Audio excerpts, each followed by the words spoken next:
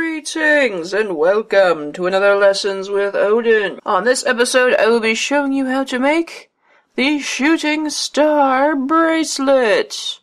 Sort of, with alterations. I first made this in my alter ego piece as a transition chain, and I really liked it because I figured out a way to use these stars because I had a whole bunch of them and nothing to really use them for. So, you also don't have to use the Swarovski stars with this piece but it kind of reminded me of a shooting star if I hold my arm the right way, so it's really cute like that, but um, I have some clover shapes that would probably look really cute in this, uh, butterflies, and I'm going to show you today using rondelles. So, it's a very interesting piece. Right now I just have five in a set with a band, but feel free to use more or less spikes depending on what your preferences are. And if you make some variations on this, I would love to see. Feel free to join our Facebook group. I will leave a link for that down below.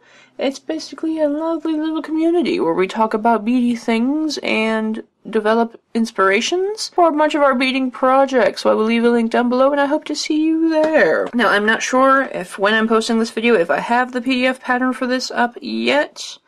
Um, but I will leave a link to my Craftsy shop down below so you can check out my current PDF tutorials and this one is in progress.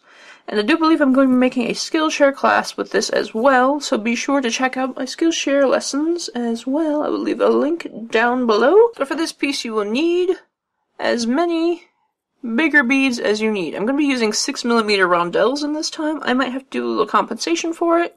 Um, but that's easy enough to do. You can use the Swarovski stars like I've done, or you can use some other shapes, or you can even use probably 8mm rondelles would be good with this as well. It's just a matter of doing a little bit of tinkering but I'm going to show you how to do it with 6mm rondelles because I know these are on the cheaper end of the spectrum. You will also need spike beads. These are 5 by 13 millimeter spikes, so these are like the medium size spikes.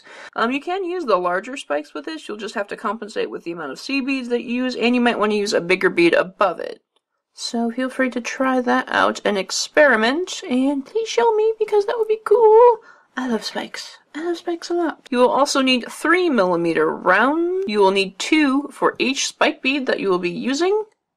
Minus 1. So for example, in this bracelet, since I'm using 5 spike beads, I needed 4 sets of 2. So, so I'm going to need 8 3 millimeter rounds total. I'm going to use two 4 millimeter rounds to go on the ends of each bracelet. You will also need size 15 seed beads and size 11 delicas and also a clasp or whatever you plan on doing with this. You could use it for a necklace chain, just make an entire necklace out of that.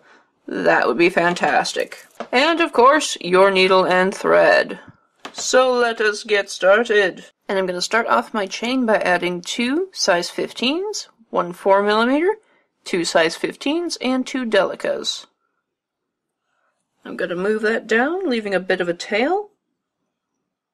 And it's entirely up to you what you would like to do with that tail. You can work on the other half of your bracelet with it, or just leave it be and attach a new thread. Once I have them down to the length I want, I'm going to pass my needle back up through them all, so that we form a loop. Then I'm going to tie an overhand knot using my tail and my working thread. Once I've done that, I'm going to pass my needle back up through the two delicas to make sure I'm where I want to be. Then I'm going to add two size 15s, one spike, two size 15s, two delicas, two size 15s, one rondelle, two size 15s, and then I'm going to pass back through the delicas that I started out with.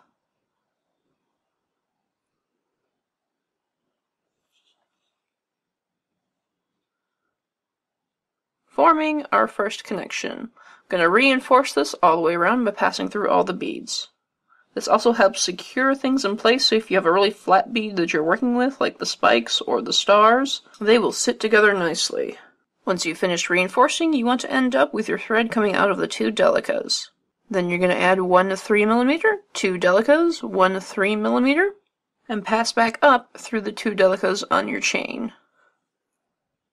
You're going to then reinforce these beads once more. Then, coming out of the two delicas on the far side, we're going to once again continue another spike link. We add two 15s, one spike, two 15s, two delicas, two 15s, one rondelle, and two 15s. Then we pass back through the delicas on our chain over here, where the rounds are. Once again, reinforce and end up on the delicas on the further side. Put on another pearl segment by adding one 3mm, two delicas, one three millimeters, passing up through these delicas here, and reinforcing. Repeat in this manner until you have run out of spikes and rondelles. End up with your spike segment and don't add another 3mm pearl next to it. So once you are done with your chain, you will be finishing off and reducing it to a workable width. So coming out from the set of two delicas here, I'm going to add on two size 15s, our other 4mm, and two size 15s. I'm going to pass back through those delicas reinforce, and then end up through the 4mm bead. Next up, I'm going to add two size 15s, two delicas, two size 15s, and pass back through the 4mm bead. Reinforce, then end up back through the delicas here again. And we're just going to basically repeat those steps. I'm going to add two 15s, two delicas, two 15s, and pass back through the delicas on our chain. Move over to the delicas on this side, and then you're going to repeat that chain until you're done with your entire length of bracelet. To finish off, I'm going to add my clasp and six seed beads, and then go back through the two delicas at the end of my chain. And that will anchor your clasp in. If your hole on your clasp is a little bit smaller that you can't get 15s through you might just have to add three, then your clasp, and another three, but it's essentially the same path. Then you're going to reinforce this once or twice to make sure it's nice and secure since it's the clasp area, then end your thread.